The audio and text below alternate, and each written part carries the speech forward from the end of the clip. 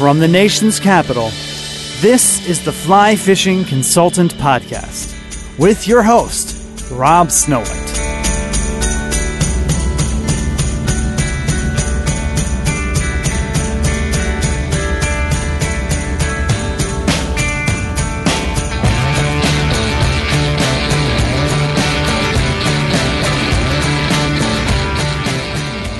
You for downloading the Fly Fishing Consultant Podcast. This is Series 1, Episode 96 Outfitting for Shad. This podcast is brought to you by Risen Fly. Go check them out at risenfly.com. And I'm going to give you a little commercial from the Lancaster Show right now before we get started. All right, so first podcast, we're at Risen Fly. What's going on? Oh, we got all kinds of good stuff coming out this year. Brought out uh, since the last time you uh, you interviewed us at the Lancaster show last year. Uh, added a few new fly boxes. Um, we've got some waterproof briefcase boxes, but the one that's making uh, the big waves right now is our silicone insert waterproof box. Um, so. You know, we've got one company out there, a big competitor that uh, has a similar style box. Uh, our price is uh, almost close to about 40 to 50 percent cheaper than theirs. It's double sided, holds more flies, and uh, and it's waterproof. So uh, you know we're, we're kicking some butt out there. We've sold. We've been at like three shows in the last month or so, um, and have probably sold 100 of these boxes throughout three shows. So so they're doing they're doing great. That's the uh, the little new thing. The big new thing is we've got our new rod series coming out. We've got pre-orders going on the site right now for two sizes: a nine foot five weight and a 10 foot three weight.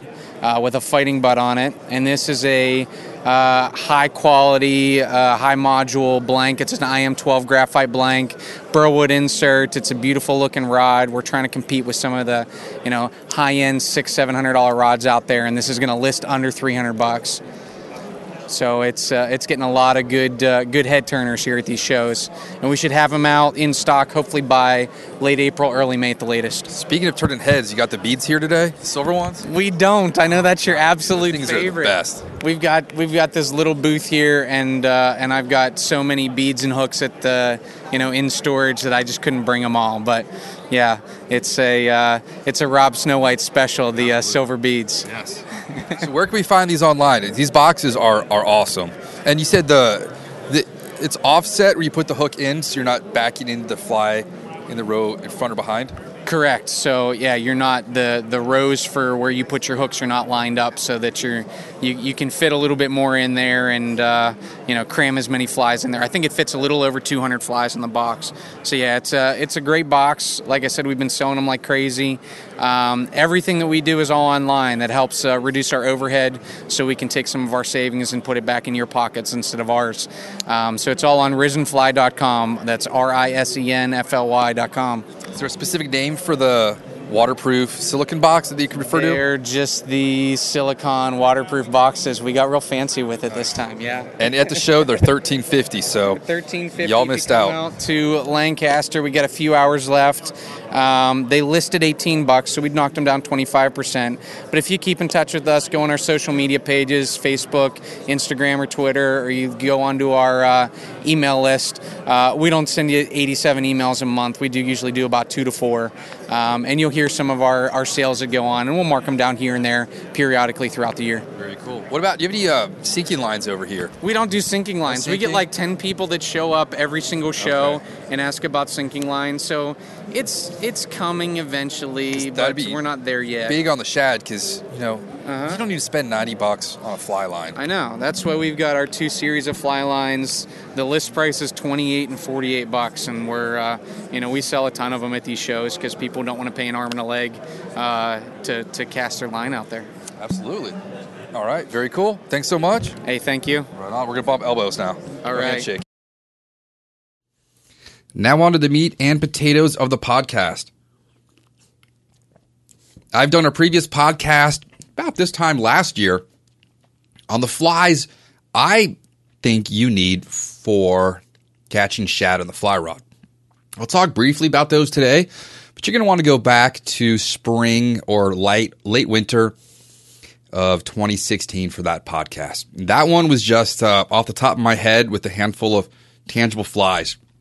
In this podcast, I made a comprehensive list. I'm going to talk about rods, reels, lines, leaders, flies, waders, footwear gadgets, and additional information and some websites and phone numbers that I believe are pertinent to what you need to be a successful shad fisher person.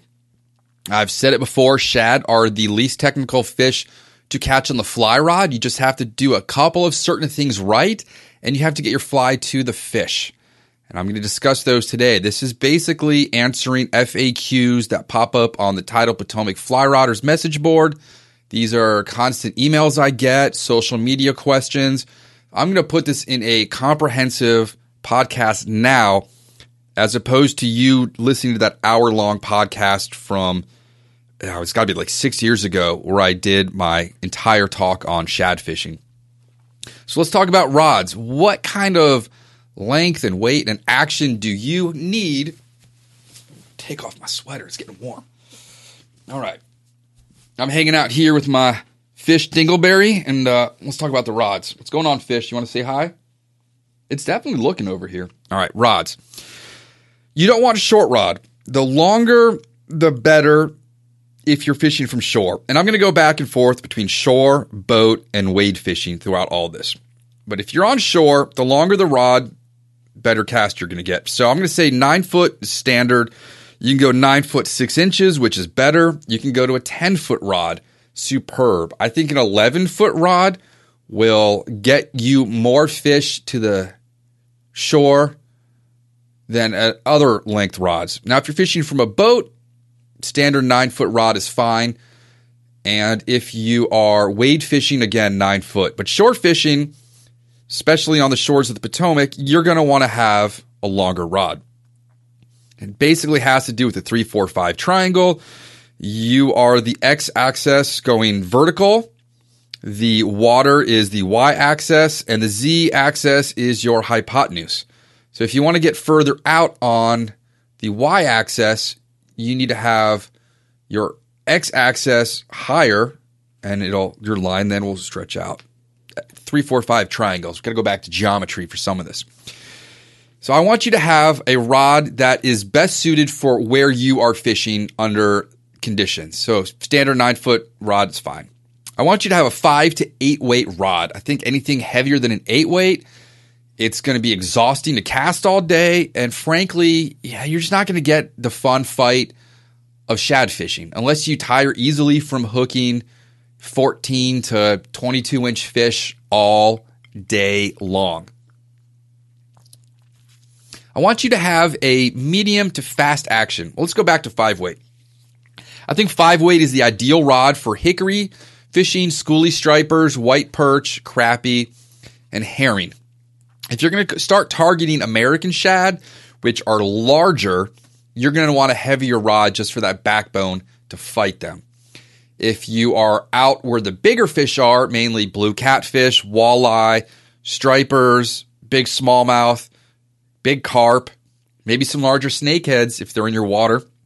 That's when you're going to want the bigger rod just to have that backbone to fight the fish. Plus, it's probably going to be windy where you are, so the density of your line is going to enable you to cast further and better through the wind. And having a higher weight rod means you have a line with more grains into it, which is more dense, which then will further cut through the air. Now, medium of fast action, don't come out Thomas, I know you like to fish your butterweight out there, but in my expertise of taking people out for taking people out for the shad run now since 99 you well for me we're we're shore fishing so roll casting the glass glass rods are are not the slow rods in general are not going to benefit you roll casting all day long with the lines and flies that I'm going to be telling you to fish. You want a longer rod that's stiff to allow you to roll cast more and cut through that wind and just fish in adverse conditions. And you will get tired roll casting constantly all day long or overhand casting and shooting line, whatever. The softer the rod, the more work you are going to have to do. Yeah, it's going to be fun to fight a fish on that, but in the long run, you're going to you're going to regret it. So maybe if you want to fish it for a brief period of time, that's great. But as your all day rod, you're going to want fast action. And ideally, your rod has to roll cast. If you're coming out to fish with me, you're going to be roll casting on shore. I don't want you doing a single overhand cast. I don't care. There are trees and rocks behind us, and you are going to hit those on your back cast, and you're going to shred the leader and you're going to destroy the flies that I tied for you. Now, if you want to fish your own leaders and flies, go right ahead and do your Brad Pitt cast. But a roll cast is the ideal cast from shore when shad fishing. If you're standing out in the water and no one's around you, go ahead and overhand cast. If you're on a boat, go ahead and overhand cast. It's not going to be a problem unless it's crowded, which, if you're down in Fredericksburg, if you're up on Deer Creek, if you're out in Fletcher's Cove, you're going to be in a crowded situation where you might not be able to get the ideal back cast. So, again, a roll cast would be ideal. For me, I want you to roll cast 60 feet. Ideal, a minimum, if you can't roll cast 30 feet, well, you're going to be able to by the end of fishing with me, but practice roll casting before you get out there. And you can go back to my casting analogy podcast and get all my tips and tricks for roll casting. Your rod should have a fighting butt because at times you're going to get tired and you're going to want to stick that rod into your gut and just get some extra leverage.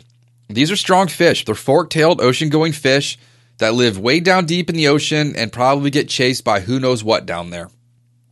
They're strong. They're pissed off and the males are raging with testosterone.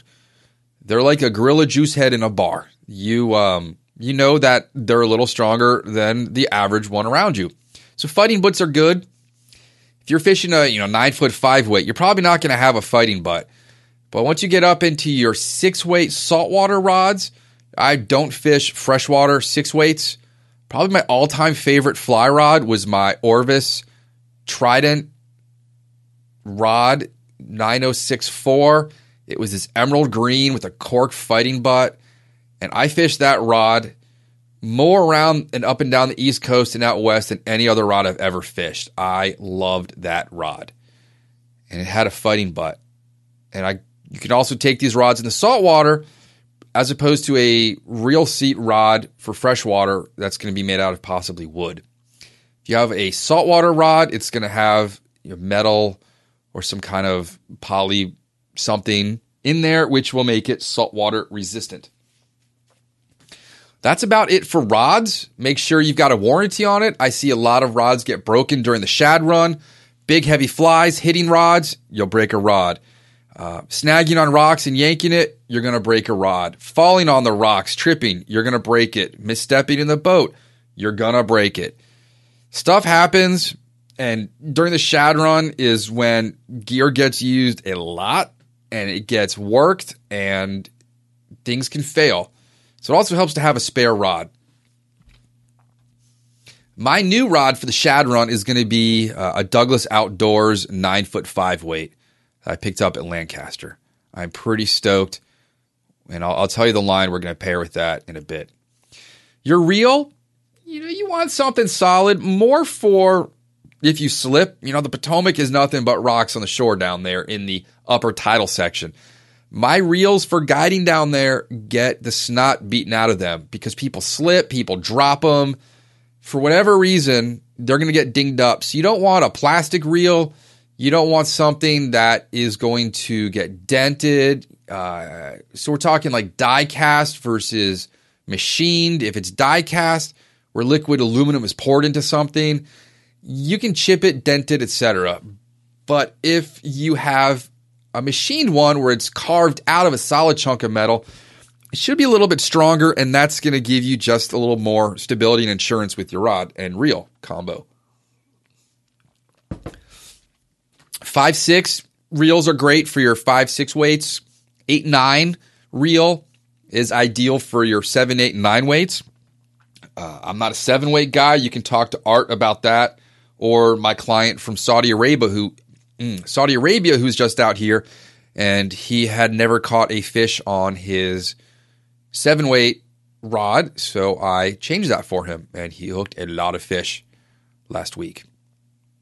It was pretty cool. So, um, Omar, if you're listening, it was it was fun fishing with you. You got some crazy good weather before this ice storm showed up. I want you to have a large arbor with a decent drag system because there are things during the shad run that will eat your shad fly that are bigger and badder and stronger, and you don't want to end up getting your reel smoked. If you remember, Jason was down here. He hooked something at Chain Bridge, and his reel had like smoke coming out of it. Whatever that fish was was big, and it got into fast water, and then your reel turns into a fighting tool rather than a storage tool for your line. So you should have a good drag system, preferably something to keep it clean. If you're fishing tidal flats, you're probably dealing with a lot of sand and grit. There's plenty of that junk up where we are on shore. If you're on a boat, you're going to hook who knows what.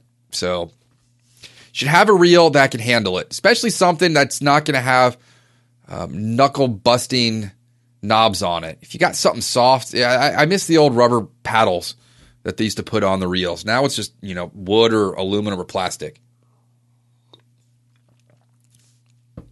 And again, if it can take a beating, I've got my Ross reel over here. I picked this one up, you remember, in Colorado, more or less for free. It's a Ross Gunnison. Um, it's got scratches all around it. So, as a used reel, I'm not too concerned that this is going to get further dinged up. It's a pretty awesome reel, I'll give you that. You can't beat a $20 Orvis fly rod with uh, a reel thrown in for free. Good, good stuff. Line. This is a big one that, you know, most people don't ask me what kind of reel. But you should have multiple reels with different lines on them. We'll get to that next. So, your line. Choose the line that best fits your budget, but also gets you to where the fish are. If you're wade fishing, you're probably in shallow water. You can get away with upstream cast, let it mend, and swing it downstream. That'll be fine. If you're in a boat, you're going to want um, fast sinking. And if you're from shore, you want fast to medium action sinking. You want lines that you can roll cast easily. You want lines that you can shoot distance easily. And I've got a couple of lines down here. I'll get to those in a minute as my my visual aids in my office are not going to help you one bit. Dingleberry's looking at him. He could, he or she could tell you. I still don't even know what kind of fish it is, but it always has a dingleberry that's two and a half times its body length while it's swimming around. That's just got to cause extra drag and make it burn more calories. Not that this fish is really doing a whole lot of work, just kind of picks at things all day. So floating line is fine if it's all you have. There are ways to get down if you have just floating line. You can get a poly leader. You can use split shot. You can use heavier weighted flies. You could find an old sink tip and cut it up and make heads out of it. There's a variety of tools designed for people that are going to travel with the floating line and need to get down. So those things have all been invented. You can go into the local fly shops and get Rio T lines. You can get poly leaders. You can go to any sporting goods store and get extra weights or you can use heavier flies. Or you just roll cast upstream and swing it and sink it. I call it swinking. When you throw it upstream and swing it while it sinks down, and by the time your drift is done, you're in the strike zone. Sink tip, I think, is ideal. The reason I think a sink tip is ideal is because only the front portion of the line is in that thick medium we know as water, that, that aqueous solution. I have a little bit here frozen in my, my uh, whiskey sour been on a whiskey sour kick lately. It's got oranges in it, so I'm getting my vitamin C. So when you go to roll cast or go to overhand cast, and you have a longer rod, preferably, you can lift the tip of the line from the depths of the water, bring it up to the surface, and not have to pull 60 feet of sinking line out of the water. You can do 60 feet of floating line or intermediate, ideally floating, and then a 10, 20, 30 foot sinking head, it will just be easier. You're pulling less out of that thick medium to roll cast. You can roll cast so much easier with a sinking tip because of just the turnover of the weight. I want my clients to be casting more often, which means they're putting the fly in front of more fish. And by having a sink tip, they can lift their rod, pull the line up out of the water easier, and roll it out. If you're going to be using a full sinking line, it's just extra work. You got to just pull that stuff up and up, and it's just extra work. So let's go over some lines. Okay.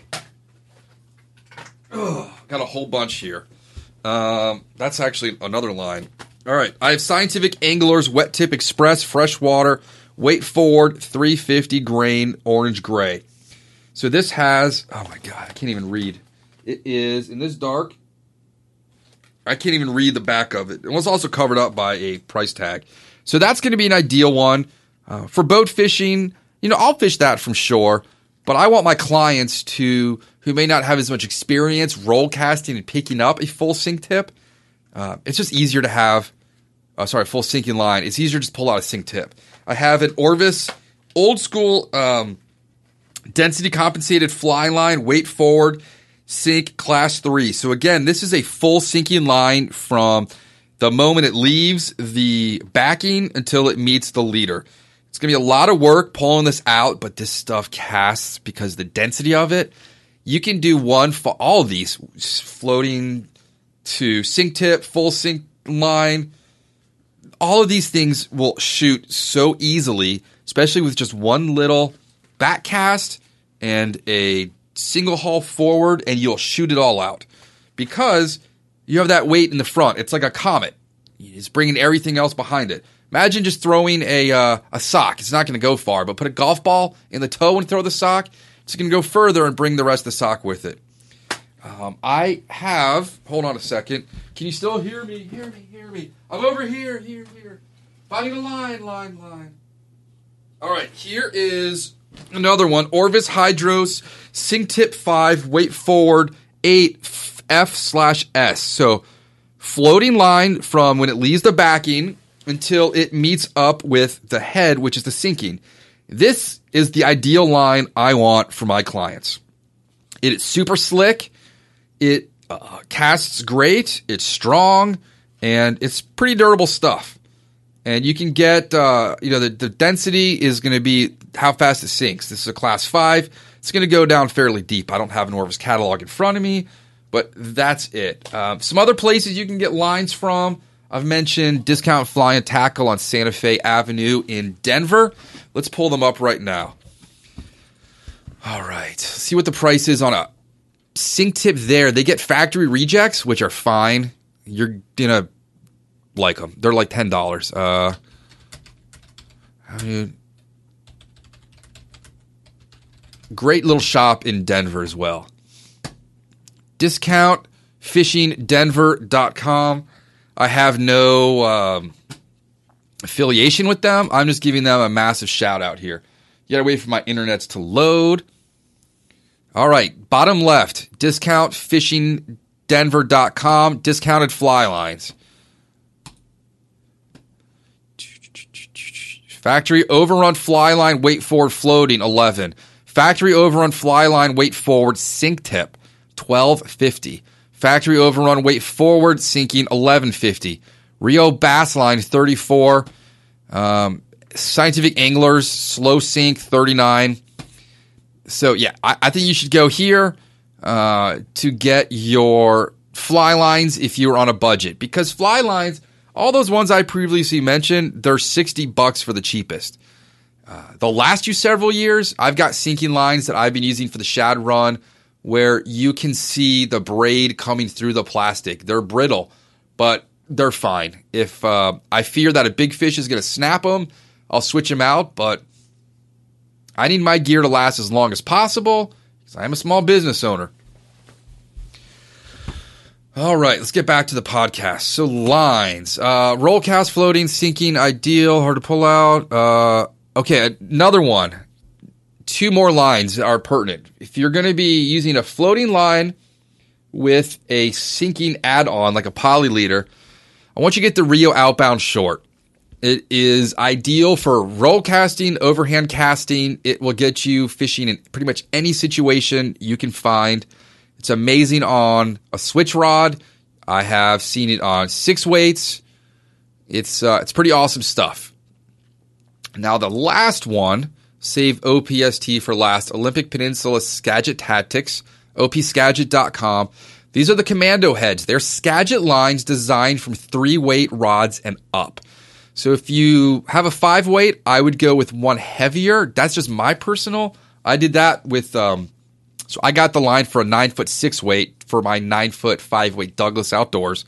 It's a short uh, Skagit head, and I buy their running line. It's uh, Lazar line, L A Z A R. And I put it on a reel, took it out to the front yard with uh, an Orvis rod and while I was filming with my left hand, I held the rod with my right and I pinched the running line to the cork with my index finger, did one roll cast, let go. And I want to say it probably went out 60 to 80 feet. I mean, it went from my driveway all the way into my neighbor's yard. A couple of casts actually got hung up on the power lines connecting our two houses. So if you want to make an investment that's going to make your life easy, OPST commando heads for single handed rods for roll casting will change your shad run fishing. If you are on shore and you need to get out 60 feet, this stuff is ideal. It is a rocket and it will launch your flies out and get them where they need to be. Because if you can't get your flies to the fish, you're not going to catch any fish. So that's what I want for lines something that can get beat up something that you can shoot and roll cast easily, something you can lift out of the depths of the water with ease, something that won't break the budget. You don't have to go and sell plasma to buy some of these, but some of them you might. Let's talk about leaders. Leaders are pretty darn simple for shad fishing. These shad fish live about 200 feet down in the ocean. They've never seen a human. These are not fish in some local stream that get hammered by, you know, people coming out every weekend throwing the same Umpqua or Orvis woolly bugger at them. These are not fish that you have to drop down to 7x because they're so spooky and, and educated and intelligent. This is the opposite. These fish don't know what you are. They're not really scared of you. You can fish the thickest leader and tippet you can fit through your fly it will not change how they bite. So, first off, when your um, tip section of your fly line, before it goes to your leader, I want you to have about a two foot section of 40 pound amnesia. You can connect that with a loop to loop knot. You can nail knot it straight to your fly line. You can perfection loop it on. You can whatever you need to do. And the reason I suggest this is when you come to roll casting, and you've got a sinking line and you have no idea how deep your sinking line is, once you start lifting your rod to roll cast or you start stripping the line in, when you see that red line, and my neighbors probably are very confused with I'm stripping the line with my left hand right now. Fast, fast, fast, fast, fast. When you're doing that, your leader and line are going to come up, and the first thing you're going to see is that hot orange. Then you know it's time to roll cast and pop it back out. Because if you don't you're just going to bring that whole line in. And it's just going to make it easier for you to roll cast. And then after that, you can have your leader material. Straight mono works.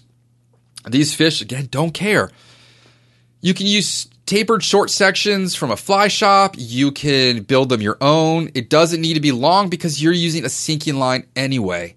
If you have a monofilament or a um, fluorocarbon leader, that's long, it's going to sit higher up in the water column while your line is still going down. It's going to sink slower. So the shorter your leader, the quicker your line is going to get down. And sometimes we're fishing water that is ridiculously fast. When these tidal rivers um, are blown up in the springtime, there's a lot of water running through. Now, ideally, I'm not going to fish during the super fast water, but we're going to be roll casting out into the main stem of the river and let it swing into some eddies. And if you have too fast of a water, your fly's not going to sink down in time and you're going to miss out on catching fish. So what I do is I'll just take uh, it's that orange amnesia, and then I will nail knot or um, uh, blood knot, just two feet of 20 pound Berkley Vanish, and I will blood knot that to about 10 pound. Tie my first fly on, tie on two feet of eight pound Berkley Vanish, and then tie on my damsel below that. That's pretty standard for me.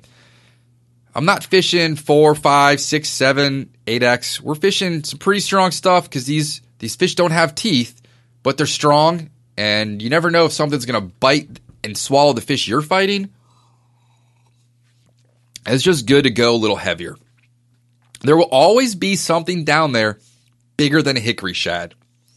Remember, a guy caught an 87 pound catfish at Chain Bridge last April 9th. And like four days later, in TPFR caught a rainbow trout down there. So you never know what's going to be in the water, but there will always be something down there bigger than your hickory shad. Let's talk about flies. Fly selection doesn't have to be the most important thing out there, but there are flies that work more effective than others. I'm just going to say straight up if you're not fishing the snow white damsel for shad, you're not catching as many fish as you should be. The three tenets of a shad fly are it needs to be one inch long, it needs to be bright, flashy colors, and it needs to have a short tail. And your trailer fly should always be tied on a barbless hook. Let's break all that down. One inch long. These fish, um, they don't have the biggest mouths, and they're just chasing all the minnows in the water that are eating their eggs. And if you've never seen the amount of bait fish in the Potomac River or the Rappahannock in the spring up there for the shad eggs, it is insane. There are you will have a school that might take two three minutes of just little minnows going upstream to pass you. So we're gonna match what's in the water eating their eggs. Flashy, well, you want your fly to stand out against the entire school of minnows that may or may not be out there where your fly is going through. When we were on the boat last year, Jason and I were just looking down above Chain Bridge, and about three feet down was nothing but fish. It was just backs, eyes, and heads, and that's all you could see. Couldn't see tails. They were stacked up you know, like cordwood, and just dropping a fly down there would piss them off enough to bite it. There weren't other minnows down there, but they knew that that fly was in their space and they did not want it there. And so what they do is they bite the fly. They're biting at the tail, they're nipping at it because they want to get it out of the way. They're not doing it to kill the fish. If they were doing it to kill the fish, it'd be more of a headshot and a swallow. I don't think we've ever had a shad swallow a hook. It's usually on the top of the mouth or the bottom where the glossal bone is. And short tail, well, if you've got a two inch tail, they're going to nip at that tail. It shouldn't be balanced like a woolly bugger where the tail is the length of the body.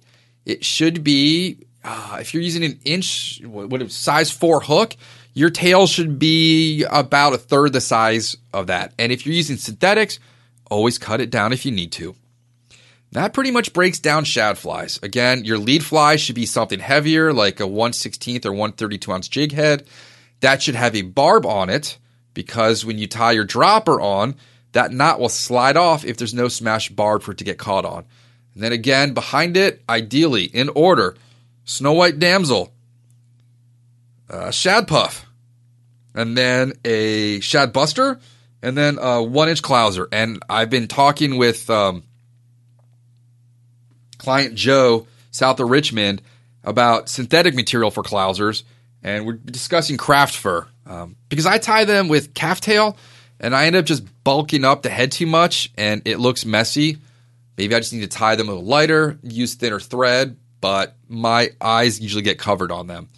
But that is the order in which I fish my flies. You can absolutely go to the sporting goods store and just get crappy jigs. That will work if you don't want to spend the money. But then again, if throwing a crappy jig, if you hit your rod, you're going to break it.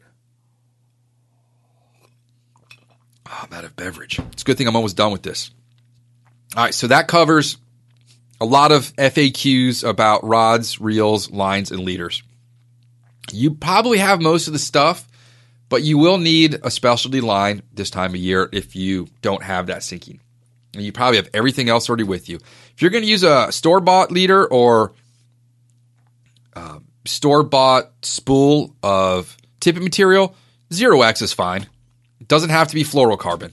That would be, that's like, um, what's a good analogy? Using fluorocarbon for shad is like using a $70 bottle of Bordeaux to make sangria. It's just going to get lost. Waders. If you're wading, you're going to need waders unless it's uh, a late run and the water's warm enough. Don't wear waders when you're coming to fish with me thinking you're going to be stepping in the river. Um, we will never step in the Potomac River when guiding for shad. You, it's illegal. It's stupid. It's deadly. I fell in last year, and uh, it was pretty scary up there if you do want to wear waders, if it's raining, if it's windy and cold, it's a super easy way to maintain your thermoregulation. Keep that belt tight, keep the body heat in. Uh, if you had some gross dinner, it's going to keep the stink in, so I don't have to deal with that if I'm downwind from you. But waders for going in the water, not necessary. You may need them for poison ivy or you know crawling through the brambles on the DC side. The DC side is nasty. There's more awful things to walk through up there. Uh, I don't know if snakes can bite through waders or not. I haven't seen a snake other than a baby down there in a long time. Uh, but yeah, they're just basically protect you against the elements. And if you do have to get wet for some reason, if you need to cross a tide pool or a creek, then it's beneficial to have waders. You'll see me down there wearing them all the time. Uh, when it's cold out, I stick my hands in there, keep a maybe a bag of sunflower seeds in, in the pouch, whatever you need. So the thing is about waders, they're expensive, and if you can prevent unnecessary wear and tear on them, uh, it's better. You will prolong the life. You can wear them shad fishing for a month straight, or you can prolong them for a month of fishing out west, you know, in the summer. So choose when you want to beat up with the wear and tear on your waders. I've been fishing my Orvis Sonic seams now. This is my sixth season, and really no problems with them other than they're just nasty. I mean, those things are they're gross. Footwear. I don't want to see any open-toed shoes if you're coming to fish with me. That is not the terrain for wearing open-toed shoes. One of my first client trips on the Potomac River, the guy wore open-toed shoes and ended up ripping his toenail off. It was pretty nasty. Um, there's a lot of broken glass down there. A lot of people just leave bottles behind when they're poaching at night and they break them or someone else breaks them or they wash down there's broken glass everywhere it, it's just easier you can trip and bust a toe get scraped up there's a lot of rusty stuff down there ideally wellies would be the best thing you can wear uh, i wear knee-high rubber boots with a zipper on the side thick soles you can go to walmart get a cheap pair ranger surplus uh, Marshalls has rain boots Just go look for something that's inexpensive and will just keep you dry in case you need to step in anything deeper than your ankle. Um, they're great. The more you start wearing wellies, you're going to realize, you know, why the English have been wearing them for so long. They're just phenomenal. I could wear wellies almost daily out and about. And I certainly go to the grocery store. I, after client trips, before client trips, pick my kid up from school. I will be wearing wellies probably in two weeks' time. So today is the Ides of March. I'll probably be wearing them constantly through about the second week of May. Get a nice, good pair. The tight ones where nothing's going to fall in them, no ticks or anything, uh, sticks, branches, etc. Make sure they're comfy so you don't get blisters if you got to hump it from Fletcher's all the way above Chain Bridge. Studs on boots are pretty good, especially when you're going through all these rocks. I took the studs off my Korkers last week when I was fishing with Omar, and I had rubber soles, and it was awful. For some reason, I wanted to put rubber soles on, and those save those for the boat, man. I, those things have no use anywhere except on, on a drift boat. Metal spikes for me if I'm wearing my Korkers. Absolutely. Felt, never. Let's talk gadgets. So What are you going to need for the shad run? Stuff you pretty much already have. Strong pair of nippers that can cut through 20 pound and 40 pound line. You're going to need pliers. You need to smash barbs the other reason, um, I'll get to this probably later. I mentioned this with the barbless hooks, is, why you need them. Shad and stripers flop around a whole lot, and the white perch spin around because you don't want to grab them due to their dorsal fin. So they're going to be spooging everywhere, for lack of better terms. The faster you can get these fish to hand or net and get the hook out, the least amount of damage you're going to do to them. Stripers will flop and spin in a circle, and the shad are going to do that. Shad also have, remember, they're called scutes. It's a almost a serrated line of scales on their belly going back, and they will cut your hand up. Uh, you don't want to lip some of these fish because they're going to jerk around. You're going to get a hook in your thumb. I'm using pretty sharp hooks out there. And I don't want to get punctured. I don't want the fish to be messed up. I don't want to rip a hole in its cheek, etc. So pliers for smashing barbs, pliers for taking hooks out. Um, I actually just fish um, pliers now. I mean, I don't really use hemostat down there. Hold on, I got to text the boss. Kitchen. Hold on. Uh-huh. Okay. Yeah, so you need a good pair of pliers. I'm using P-Line from Amazon. They're like $24. The sheath sucks, but they're pretty solid. They'll cut anything and they take a beating. Rubber bag net is ideal. I went to the Cabela's out here last week to check out the new one and realized there really wasn't a whole lot there I really needed, but I did check to see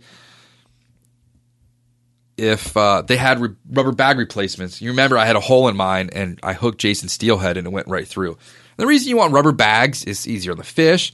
Plus, if you get a gizzard shad and they stink, you do not want to touch that fish. I don't want to touch that fish with your hands, let alone mine. So, rubber bag and net, scoop them up, take the hook out, rinse the slime off, you're good to go. You should have binoculars. Now, this is not for the bikini hatch, fellas. You should have binoculars for watching birds. Look where the cormorants and ospreys are targeting fish. You want to look up and downstream. If there's a boat doing electroshocking, you're going to want to watch to see what they pull up. You'd be surprised the size of the fish that are right below where you're fishing that you didn't know were down there. You want to check the weather. Uh, you want to look at other boats, see how people are doing. There was probably another reason. I'm also just looking to see about illegal activity. I'm sort of the eyes down on the Potomac on my side and people across from me. And if there's any infraction, I will not hesitate to call that in and get you busted. And last but not least for gadgets is a headlamp. If you're walking in in the morning, I don't know why you're out that early, but if you're walking out and you're fishing after work, headlamp's a pretty good idea. If you get there early on Saturday mornings, you're usually going to find headlamps the poachers left behind. I've got some pretty nice ones. You can get pretty good headlamps now. They're not too expensive. You know, every store sells them. Target has them now. Walmart. You can go get really good ones at REI, Bean, etc. And of course, uh, your fly shop should sell some pretty solid headlamps. And that's about it for gadgets. Some additional things. These are the ones I had to sit down over the last couple days and keep the computer on or my notebook out water.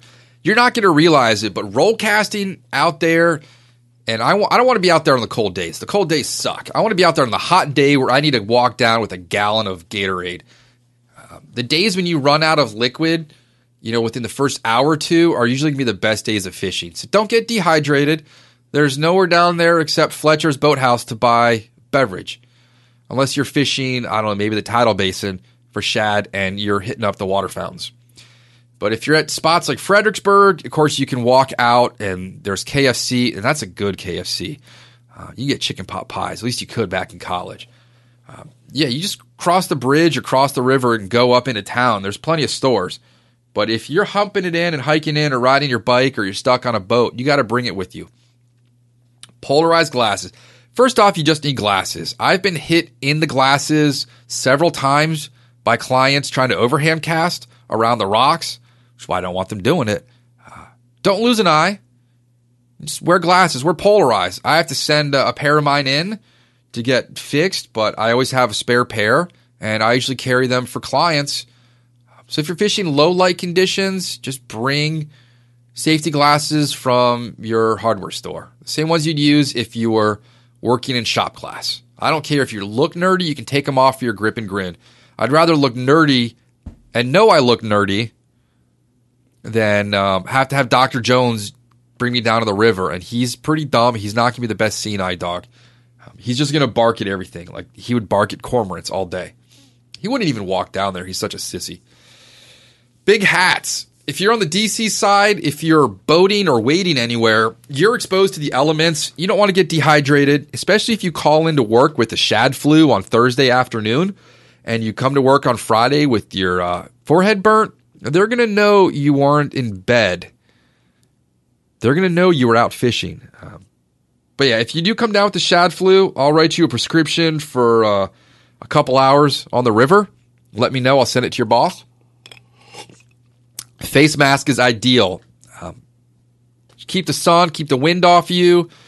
It'll also help keep all the pollen out of your nares. That's an additional benefit. It's going to keep your neck from getting sunburnt. And if it's hot, it's just going to soak up some of the sweat. There are super good ones out there now. You can get them for inexpensive. Get yourself a good face mask. Sunscreen. Always have sunscreen on. There's no sense in getting skin cancer over fishing. Um, I've already had stuff lasered off my nose. I admit I don't wear it as often as I should. Oftentimes, I've got a face mask and a big hat on and will just forget to put it in a certain part of my face. But for the most part, I'm pretty much covered up when I'm down there. If I can wear sun gloves, I'll do that. Face mask, big hat. Just there's no sense in getting dehydrated, having your skin exposed, and then getting sunburnt and long term damage. I'm going to tell you to use Dermatone. That's my preferred sunscreen. When I'm tying flies now, I'm using Dr. Dan's. That one really just it's it's uh, skin lotion without sunscreen. Um, it's really good on your hands when you're tying flies. Trash bags. Two reasons you need a trash bag. One, there's a lot of scumbags out there that just leave everything behind. So be a good steward and clean up the river after other people. If you're in the boat and you're chucking cans and wrappers around, um, throw them in your trash bag. I guarantee you something's going to float by you from another boat that got blown out or something from upstream or something from shore that got blown in. Take your net, scoop it up, row your boat over, get it, whatever. Just that's our beer water, folks. So keep it clean. Secondly, if you do happen to catch a snakehead and want to take it home, they secrete so much mucus you're going to want to put it in there. That's how you can know the snakehead poachers. It's a spinning rod, a frame pack, and a bunch of trash bags. A raincoat. Third reason for trash bags. Last year, it looked like it was going to be a nice day at my client from the UP of Michigan. And he's wearing shorts and a t shirt because he's from up there. And I was freezing. Didn't have my raincoats or layers. So what I ended up doing was taking the trash bag. And this has been embarrassing ever since. And I cut a hole for my head and kept my arms inside for about six hours. It was miserable. I was shivering. Uh, just one of those things as a guide that should not happen. Like, absolutely, I should never have been unprepared for that. Now, if I was fishing by myself, I probably could have just driven home or gone to a store and gotten a hoodie or something and come back down. But with the client, I got to be with them. It was an eight hour trip. At least the lunch was pretty awesome. Toilet paper. There's a lot of places on the DC shoreline you can go back in the woods and drop the kids off at the pool. Be sure to bury it. Don't be like the the snaggers that will just do it on the trail in your fishing spot. It's disgusting. It happens. I don't know why they do it, but it's it's nasty.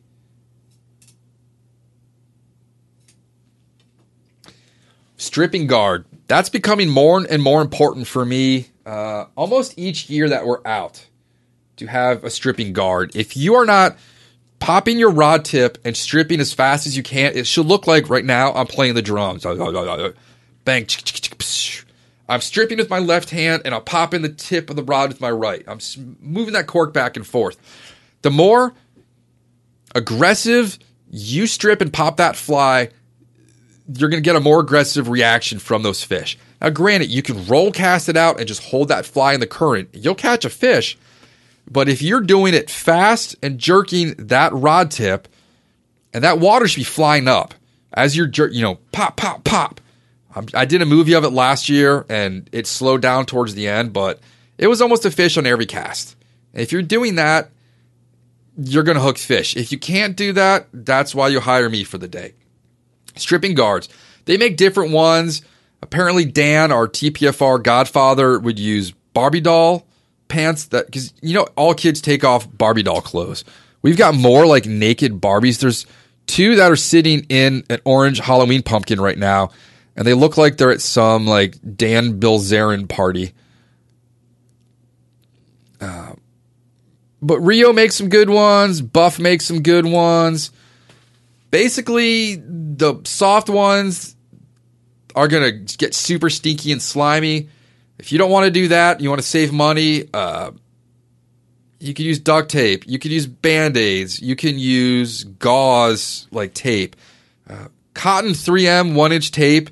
Next time you're at the doctor's office, it's what they put a band, uh, that little gauze on you after they take your blood. Just ask them for a roll. If not, CVS has it. We have a medical supply store on Route 7 in uh, Falls Church that has them. There are a variety of things you can do to keep your finger from getting burnt by the plastic. It's basically a friction burn. The faster you strip that line, and if it's dry, it will burn your finger. So, index fingers should be covered up. Trust me on that. A hook file. You're going to be dinging your hooks on everything out there rocks, boats, trees. You never know. A hook file is always good to have. I have mine on my lanyard. Stream thermometer. If uh, you're old school and you're not looking at websites, perfect way. I just got one for cooking. It's a laser. Got it on Amazon for $16 and I've been obsessed. I've been drinking coffee this week because the wife's been out of town, and I've been dealing with the kid by myself. So I sit there and measure it like every couple of minutes. I don't drink it fast enough, and it goes from like 110, 107, 105, 102, 97. So I can take that out there and zap the water different depths, hopefully get a good reading. Again, my ideal temperature is 63 degrees and up. They will absolutely be in there in the colder water um, but I, I was wrong last year. I science, fact. There are written things about morphology and um, sexual reproduction and fertilization and embryo development in shad that is all temperature based. Some of them don't leave when it gets cold, they'll hang out. Trolling motor. If you're going to take out a boat at Fletcher's, you can put on electric trolling motor not have to row. It's not that well advertised, but after owning a drift boat now for so many years, I can't row anybody else's boat where the oars pop out. I, I refuse to do it. Um, so if you have a trolling motor, which I bartered with Justin, uh, I got mine. Holt fixed it a little bit on Burke Lake a couple weeks ago, so it's a little more smooth running. They're nice. Uh, PFD. If you're on a boat, you have to wear one. It's not an option. It's common sense. The amount of deaths that we have in the Potomac every year is mind boggling. From people jumping in thinking they can swim to just accidents. You know, Forrest Gump said it. This happens. Uh, you can wear one on the shore if you want. I'm not going to laugh at you. Um, I try not to get close enough to the shore where I'm going to fall in, but it happened once. And if you're going to get one, get the kind that can inflate at a certain depth that's I've heard stories about people being unconscious and falling off boats, and that's the only thing that saved them. You fall in the Potomac at Chain Bridge, you're pretty much not coming out. And a whistle. You should always have a whistle on you, even if you're not in a boat. It's a good way to signal for help. It's a good way just to signal in general, um, if you're in trouble, etc.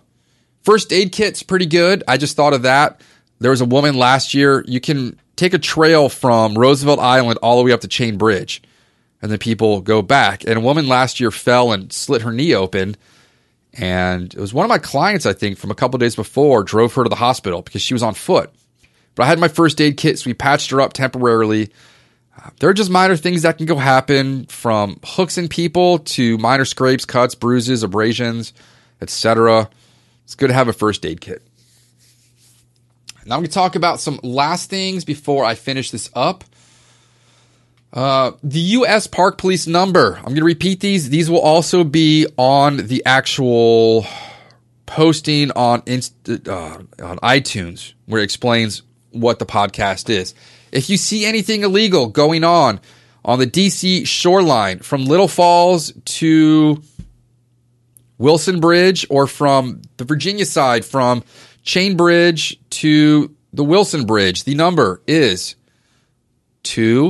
202 610 7500. Again, 202 610 7500. Anything that is illegal, fires, poaching, litter, uh, alcohol, technically, call it in.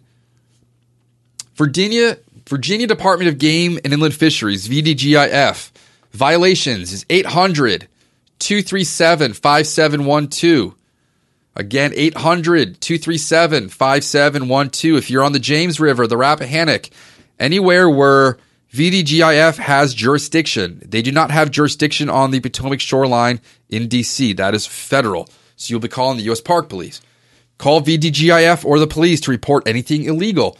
Remember, a lot of these fish that we are targeting are threatened and or endangered species, and you cannot take them from the river. There was a Russian guy last year posting grilled hickory shad all over Instagram. I'm like, dude, you basically like it's like taking a selfie in front of a bank with a wad of cash. You just don't do that.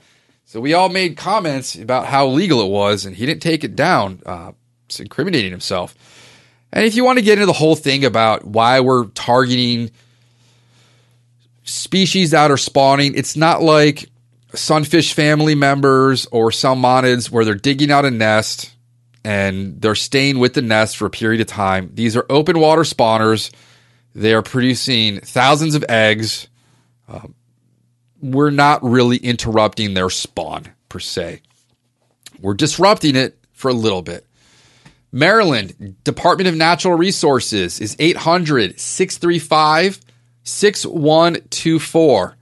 Again, Maryland DNR 800 635 6124. That phone number is 24 hours a day, seven days a week. The kids will tell you that's 24 7. Websites and apps. If you want to know the tides where you are so you're not wading and all of a sudden it's shoulder deep, Tide app is the one I use on my phone. It has Chainbridge and one mile below Chainbridge, which is about Fletcher's Cove. Uh, weather.gov is the Potomac River near Washington, D.C., Little Falls. That will tell you the predicted flow. If you want to fish on Friday and you had a massive thunderstorm on Tuesday, it will show you the expected amount of river rising. Again, once the river reaches five feet and above at Little Falls, Fletcher's Cove will not rent boats. The United States Geological Survey, USGS Potomac River near Washington, D.C., Little Falls Pump Station. That is another one we use. That also tells you the temperature at various distances throughout the water column. It will also tell you how many particles are in the water at a time, which tells you if the water is completely muddy and chocolate or if it is nice and crystal clear. I love me some shad fishing on a crystal clear day where you can see down like six or seven feet. You see the baby snakes and the minnows and the herring at your feet and the shad and the snakeheads come up to breathe and a cormorant pops up and scares the crap out of you. It's fun. Doppler, uh, Thomas likes Storm. I like WUSA 9. I think they use it for other weather channels, but you can set it to show you storm track and Doppler. You should know the air temperatures for the day. You should know the cloud cover because you're still going to get burned. And you should be able to know when inclement weather is approaching so you can get back and not get struck by lightning. And Instagram, tag Shadness Madness. I think Remick Smothers is the one who coined the term. Uh, saw him two nights ago at Beer Tie. I will be seeing a lot of his pictures. Fly Times DC, also Alex Binstead, Fletcher's Cove, uh, some other people that'll be out shad fishing. Share your pictures, tag me, tag Tidal Potomac Fly Rodders, tag your local fly shops. Have a good time doing this. Stay safe. This is not technical fishing. You're not matching the hatch. You are simply needing to get the fly down to where the fish are and move that fly fast enough to piss off the fish into biting. That's about all I have for this podcast. I hope you enjoyed it. And please take a look at the Risen Fly website. That uh, silicon fly box is pretty ridiculous. Jason and I are tying a bunch on Risen fly hooks right now. And again, you can get uh, floating lines from them at a great price. And again, their silver metal beads for my chartreuse woolly buggers are pertinent to my business. Thank you so much for downloading the Fly Fishing Consultant podcast. The next one is going to be from the United States Marine Corps Museum in Dumfries, Virginia. We've got the Project Healing Waters tie-a-thon this weekend. So I'm tying up about 100 worms before I get there so I can walk around and talk to everybody. So we're going to have some of you listeners on the podcast next week. Jason, do your thing. Thank you for joining us for the Fly Fishing Consultant Podcast. For more information or to contact Rob, please go to www.robsnowhite.com. And if you lack the strength of your own, honey, hold out your hands and take it from an old man.